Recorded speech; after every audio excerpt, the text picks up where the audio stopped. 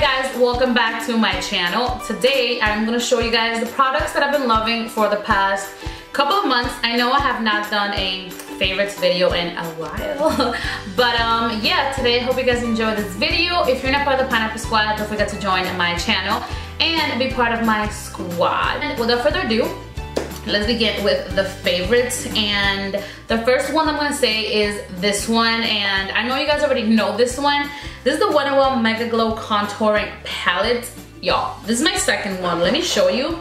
This is my first one which I hit pan on it and I'm obsessed with. And then this is the one that I've been using. I just purchased this one. I don't know if you guys have ever seen it. If you haven't you need to pick it up. It's honestly one of those things that are like $4.99 and you can get it cheaper now at Target I believe. I bought this on a Target for three something so you could definitely get it cheaper. And it's just so good. I contour with it today. It's like the perfect shade for me. They're both like perfect. Like I'm obsessed with this one and this is one of the things that you need to purchase because it's cheap and it's amazing and it beats some of the high-end ones. And um, yeah, so I've really been loving that one. And then my next favorite is also a powder. And I feel like I have a, I have a lot of face things, which is pretty good.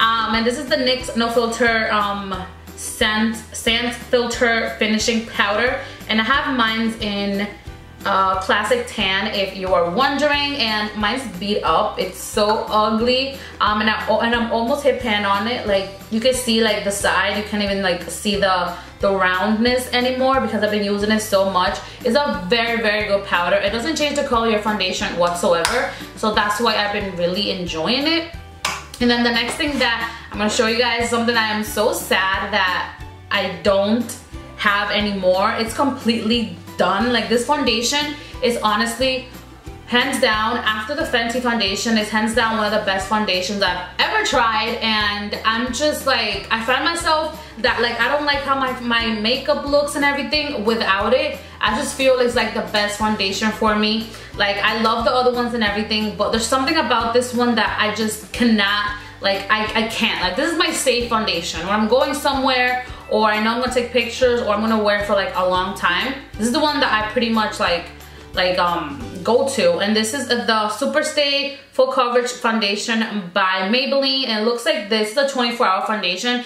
They have so many shades so I'm sure you guys can find your shade. Um, but yeah, my shade is 320 Honey and I definitely have to buy it again. I did do a review on this foundation so I will leave it down below for you guys if you want to watch it but it's it's just such an awesome foundation i need to buy it for my clients because it is bum diggly bomb and then the next thing i just did a review on this ColourPop um, no filter setting powder.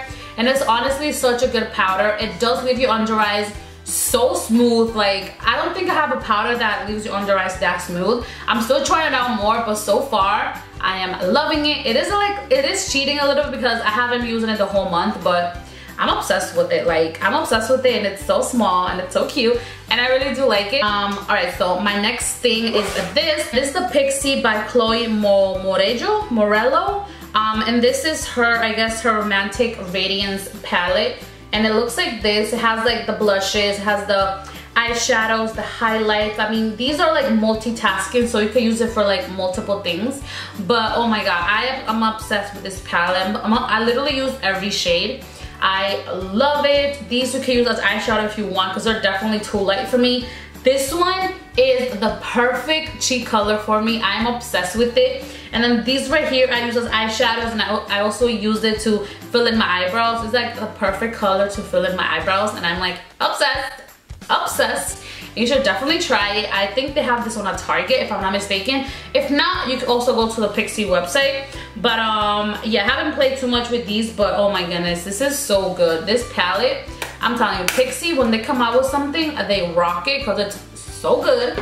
And then the last product that I have, like I said, I don't have a lot of products. I haven't played with makeup just because my beauty room is not complete. They're still doing construction. I managed to do this, this little small setup just for now. Um, but yeah, like it's definitely not even close to being done and it's like. And my next product is this Flower Beauty Concealer. Guys, I've been using this concealer for like two months, like almost every every day or every other day. And it's still full. Like I keep Like I keep like, oh, you know, let me just put it on. I'm like, oh, there's more. And like, it's it's just, it keeps on coming. And I'm not, I don't understand where all the concealer is. Like it has, let me see how much, it has 0.21 ounce. Okay, you know, it's, I think it's normal for a concealer, isn't it? Let's see. My Makeup Revolution one has, oh, this one has 0.11. And then this one has, like I said, 0.21 so this has way more. And this was like so much chubbier. I don't know I mean this one did run out really fast. Like after I did the review for it it ran out like like the next week. And I was like what? What is wrong with you?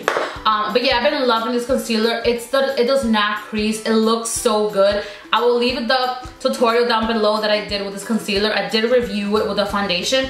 The foundation is not my favorite. It's a little it's a little too glowy for me. I feel like my face is glowing too much and my face is already oily so I don't have time for that. But this the concealer it's so good. You guys know I love concealer and I don't need to correct all the time with this concealer. So that is a plus. and I've really been enjoying it and I've really been loving it. So um, the next product that I have is this BH Cosmetics Studio Pro Eye and Lip Makeup Remover. And it looks like this. And it's just a bottle. Like you know it's so cute.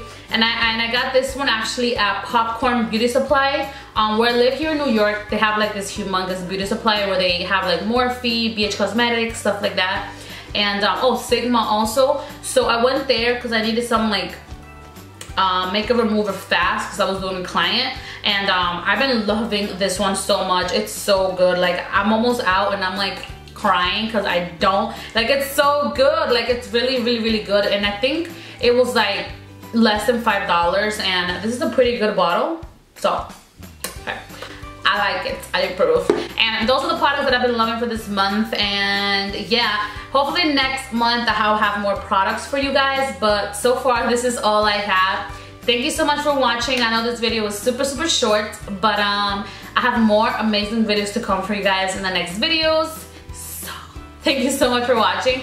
God bless you, and I will see you in my next video. Bye, guys.